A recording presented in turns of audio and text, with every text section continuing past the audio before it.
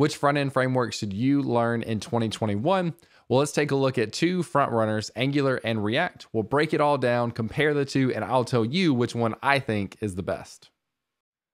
What's up, everyone? My name is James Q Quick, and I put out videos on web development uh, once or twice, sometimes three times a week on this channel. So if you're interested in content like that and you enjoy it, uh, make sure to like the video, subscribe to the channel, all those things to help me out. I'd really appreciate it. But let's go ahead and talk about uh, two of these really big name frameworks out there in React and Angular. And I, kind—I want to kind of come with this from the perspective of so many people are really worried about making the right decision of, oh, which technology or which framework should I learn? They get started in web development, they learn about HTML, CSS, JavaScript, and they want to know kind of what's next. What are the what are the things they should be looking at? So I'm going to uh, give you kind of an overview of React and Angular talk about some of the built-in features, some of the learning curve, the ecosystem, the community, job opportunities, and then I'll sum it all up by kind of giving you my my personal perspective on which one of these makes the most sense. So let's start with an, an overview. Uh, Angular is a framework that was created by Google, still is maintained by Google. Uh, it's very structured. It uses TypeScript, which is actually pretty interesting and kind of cool. They have a new version of Angular out every six months. They're pretty committed to that. I think I'll have to double check this. I think they're at 10 right now. They may be at 11 or 11 is on the horizon. So I think the latest version is 10. On the flip side of that, you have React, which is created by Facebook. It's a lot more lightweight in, in, in terms of code, not necessarily in speed, but in terms of like code, because there's not as much built in. We'll talk about that more in a second. And some of that makes it really easy to get started. Although TypeScript is really nice and Angular, it's another thing for people to learn to be able to get into Angular. We'll talk more about the learning curve here in a second, but React is pretty lightweight and pretty easy to get started.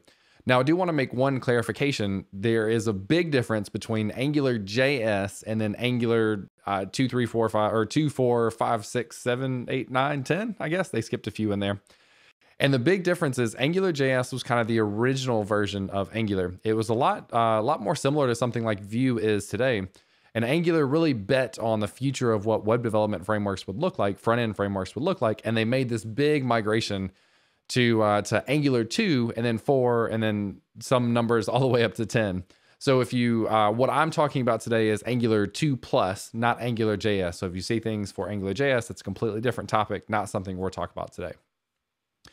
So let's dive into some of the built-in features. Uh, let's let's start with Angular. Uh, Angular as a whole has a lot of stuff built in, and you get into uh, lots of debates about framework versus library. A lot of people consider uh, Angular to be a framework and React to be a library because Angular does come really pre-packaged with a lot of things that you'll need inside of your uh, inside of your application development process. They have an HTTP client. They've got services uh, that can do some of the business logic from you, for you, from you, for you. Uh, it has a lot of structure. There's a pretty, uh, pretty uh, opinionated structure on the file setup and when you create components, what the file structure looks like, and all that sort of stuff in Angular. Uh, then there's also built-in routing, so they've got a router built in as well. And one of the things I really like about Angular is the scaffolding. So the Angular CLI comes with commands to generate components for you when you generate a component, for example, it gives you a CSS file, HTML file, a TypeScript file, as well as a test file. So all of that stuff being like kind of given to you. Uh, one is really nice. I kind of like that uh, Angular is opinionated because I don't really have to think about my structure and I can just kind of go from there. Complete opposite of that is React, where there's there's not a whole lot that's built in. Uh, you basically have to get extra packages for almost everything that you want to do a big example of that would be for uh, routing. Routing is not built into just React. Uh, you have to get a package for that. React Router DOM being a common one. And then things like state management are things that you'd pull in like Redux uh, in for. You can also use the context API. When you get into bigger applications, Redux is a popular one there. Uh, and that is only fair to mention that like people bring in outside uh, packages for state management in Angular as well uh, when they when they want to, if they have a preference and they have experience. But uh, Angular just has a lot more built in. React is pretty minimal, and then uh, because of that, you have to pull in outside things. So now let's get into the learning curve. Uh, again, the big difference here being Angular has a ton of stuff built in versus React uh, doesn't. So with Angular, there's lots of things that you have to uh, you have to learn. There's uh, TypeScript. TypeScript is a superset of JavaScript. I've got a video on TypeScript in React if you want to check that out. And TypeScript is super cool. It gives a lot of structure to uh, to your JavaScript. It gives you basically strongly uh, basically a strongly typed language where JavaScript is not. TypeScript is, and in theory, help you catch errors and that sort of stuff. And that's really nice, but using TypeScript does come with a learning curve. So that's part of it. The other thing is I feel like Angular, there's so much in Angular that is Angular specific. There's syntaxes, syntaxes in Angular that are only used in Angular versus for React for me, almost everything in React is is really just kind of regular JavaScript. It's stuff that you're used to doing, especially if you're good with ES6, if you're good with classes, that sort of stuff. There's not a whole lot of extra things going on in React that are specific to React. So that's one of the the downsides for me in the Angular space is it's very powerful, but to do different things, to use the different directives, for example, uh, there's syntaxes that you just have to memorize or you have to look up every time. I have to look up every time. And I especially am kind of, this is top of mind for me because I'm teaching Angular in my LaunchCode bootcamp right now. And I just, I, I realize how much more I have to look up for Angular versus in React.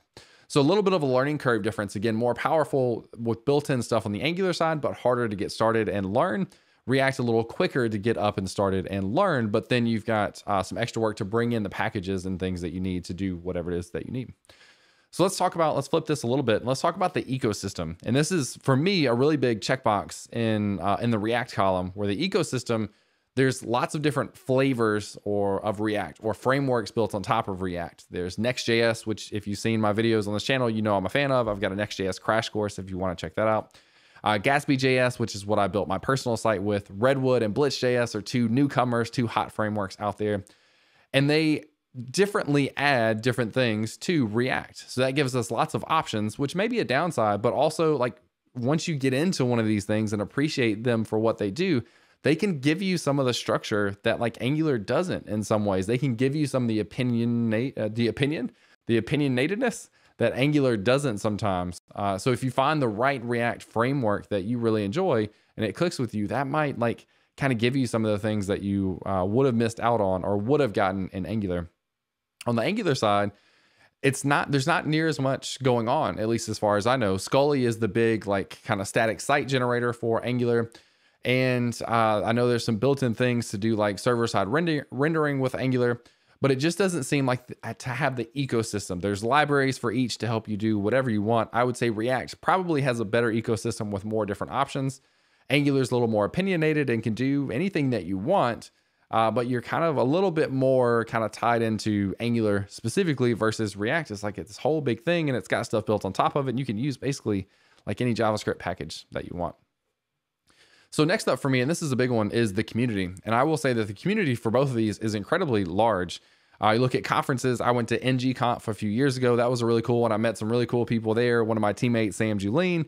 Uh, I think we met there. We didn't really know it until kind of like reflecting on it. Uh, and then Chris uh, Sevilleja, who has a YouTube channel, maybe I'll link up to there uh, as well. But met some really cool people at that conference and uh, really saw how big and uh, and really just excited the community is for Angular.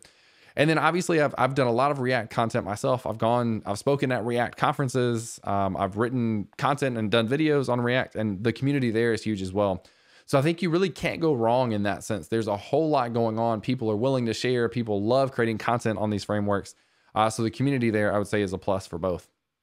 Now, all of that said, uh, a lot of this really comes back to job opportunities, and people are really worried about like, well, which one should I learn based on jobs? Well, I, I, honestly, I don't think you can really go wrong, but you can also do research into the companies that you might want to to work at or the companies that are in your area and see which one of these, if either one, they are using, and then just kind of gauge like, hey, if I'm gonna if I'm gonna apply for these 10 companies and eight of them are using Angular, that would probably be a good place to start. But I think regardless of which one you learn, it doesn't mean you can't learn or won't learn the other. So don't think that that excludes you from applying for a job that uses the one that you haven't been focused on. I think they'll really carry over.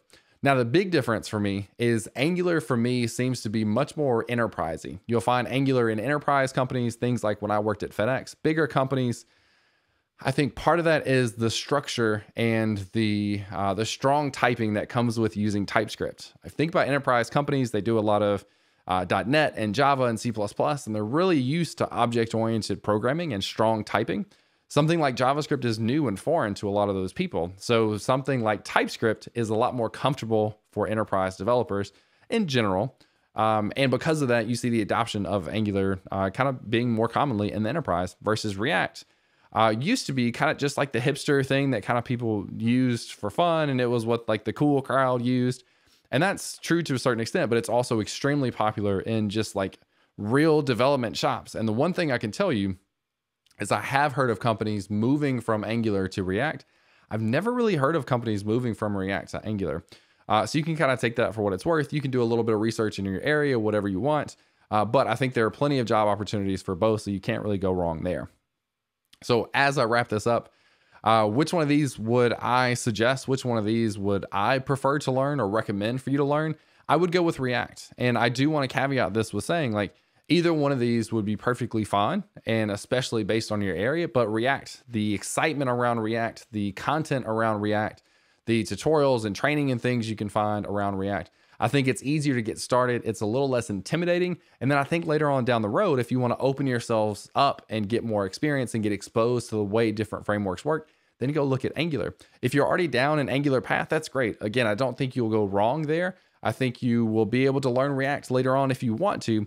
React is just an easier thing to get into, in my opinion. And so, for that reason, I would recommend it as the first thing you learn and then go back to Angular if you think it's valuable for the jobs and the companies that you might be applying for. So, I'm curious, anything that I missed in the comparison, which one of these is your favorite? Which one of these are you going to be learning in 2021, Angular or React? Let me know in the comments below. Hope you enjoyed the video. If you would like to see more videos on different kinds of technology comparisons, React and Angular, React and Vue, Vue and Angular, that sort of thing, let me know in the comments below as well. I would love to do more of those. I just want to see if you are interested in it. So I hope you enjoyed it, and I'll see you in the next video.